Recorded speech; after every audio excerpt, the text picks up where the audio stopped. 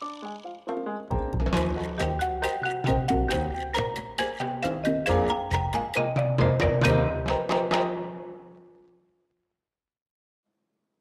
everyone, Yan Zhao here again. Finally, finally from my haul. It came out on a Wednesday, number 8. So you may notice the camera is hopefully less shaky. That's because I finally wised up and invested in a little arm for it. So hopefully these won't look so bad. Now, it came out on Wednesday, number 8 is another great edition, of course, because Log is here uh, as well as two other main stories. This issue is a little interesting to me because in previous issues, what you have is a lot of very short stories. Um, and this one, log, is five, I believe, five pages. And then the others are uh, a little bit longer with a couple pages of filler in between. But other issues have had like six or seven stories that were, uh, you know, five, six pages.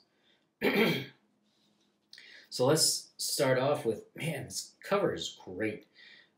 If any of you ever have a chance, if you live near larger bookstores, uh, Barnes and Nobles, or something larger, independent, check out the magazine section.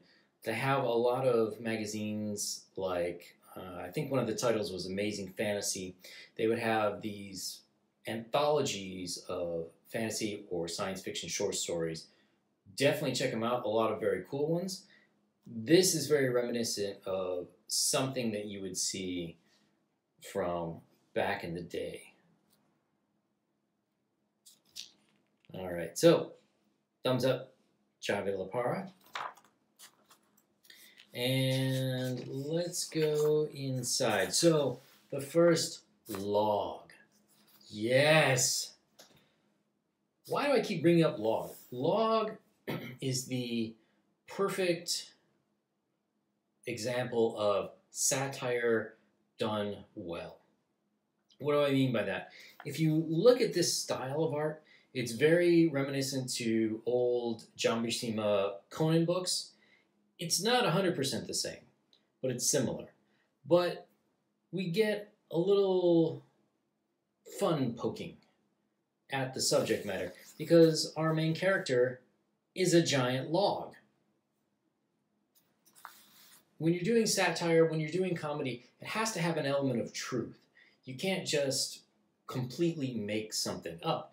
So the authors of this, I believe, is Ski, yeah, Ski Suharsky?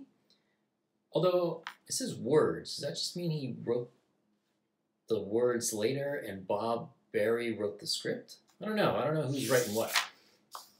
But at any rate, as far as the story goes, whoever put this together really understands the old fantasy tropes. They clearly have read a bunch of old Conan the Barbarian or Savage Sword of Conan from the 80s. And they meshed it up in a way that's funny but respectful. Uh, there was issue uh, a couple issues ago. There was a story where Log follows a lady back to her home and gets infested with termites. That's funny. Uh, I if I had ever, or if I ever talk to whoever wrote that story, I want to ask if that has something to do, like if it's based on an experience, picking up a girl at a bar and going to their house and getting an STD the next day. But at any rate, oh, so here it says story by Ski Suharsky. So I guess Ski wrote this. But this is great. This is only five pages. We have portal, demon comes out of the portal, log, and a Gandalf looking wizard have to fight it and resolve. This is what you need to do. You need to be able to have certain story arcs or whatnot within a small area. So after that, we go on to, I believe this is Agent 87? Yeah. By Robert Geronimo.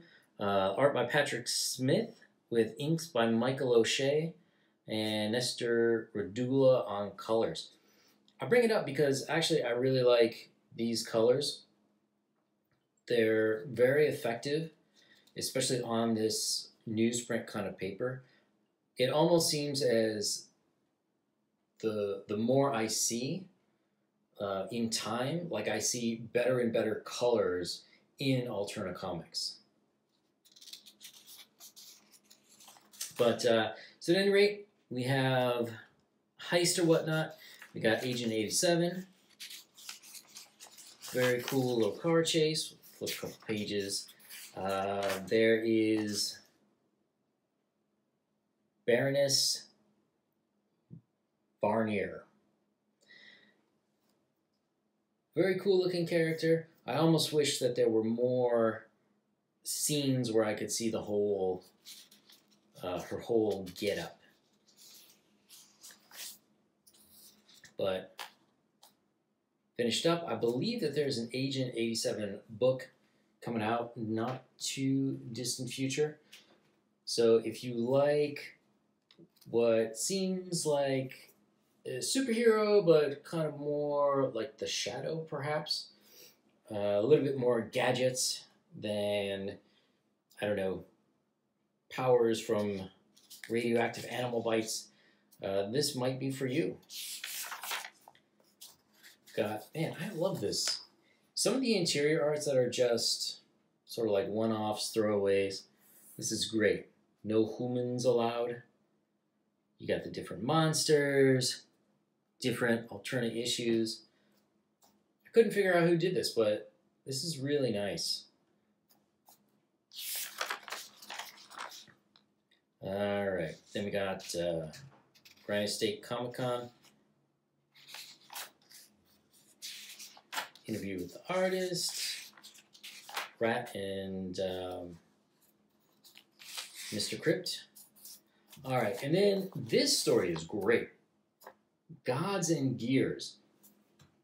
It takes place, starts off South America, 1890, and this is a little time hopping adventure.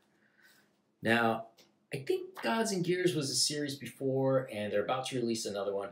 I'm not 100% sure, but I feel like I miss, like I'm always jumping in in the middle of these series. But um, talking about this lady's boss, Oscar Molina. So this uh, it starts off in 1820, finds a map, somehow is able to travel through time. Uh, this guy he wants to be an alchemist and a healer, but of course you want to make some money doing it, right? So that's what he's going for. The only thing I didn't understand were these giant mushroom-looking trees, but I assume we'll figure it out. Now he goes through a bunch of different eras, different times. You've got the Himalayas. Uh, we got the Himalayas there. Uh, Nepal, 995 AD. We've got Old West. We've got uh, North Africa in the middle of the 14th century. So about his own time, New Mexico travels back to dinosaur era, and then um, into the future, somewhere on Alpha Centauri. Comes back, Mycelia, South America. All right, Mycelia, so I would assume these are mushrooms. Um, and perhaps in the series we'll figure it out. Uh, but this is sort of a retelling of his grandma's adventures. Gods and Gears is coming out soon. Uh, I think this looks like a pretty cool story. I really like the colors. Like I mentioned earlier, um, all these colors work pretty well. I don't see some of the problems that I saw with earlier Alterna issues. And uh, the color choices, not bad, very fantastical. This looks great. this is actually doing what I said not to do with blending colors. But at this scale, uh, at a full page, it looks pretty good. Um, here you see more flats with like a little bit of a gradient. They work pretty well. And, you know, this is a freaking comic book, man. You gotta have colors that pop. Boom, blues, greens, yellows. Like some of the other ones, you have one color, two color, very dour or morbid color scheme. Um, but this is this looks like an absolute action action and adventure romp. So, written by Ryan Winn, words, inks, and colors, Dean Kotz for pencils, and Wes Locker for letters. Uh, this is definitely a buy for me. I'm definitely going to review probably the whole series. Um, it's easier to get 10 minutes of content out of a whole series than just one book. But um, Gods and Gears, this map of mishap, definitely check it out. Came out on Wednesday, number eight. Check that out as well. And I will definitely be back for number nine. So if you like this video, click subscribe, uh, hit the notification button. I really appreciate any comments you have down below, and I'll see you soon.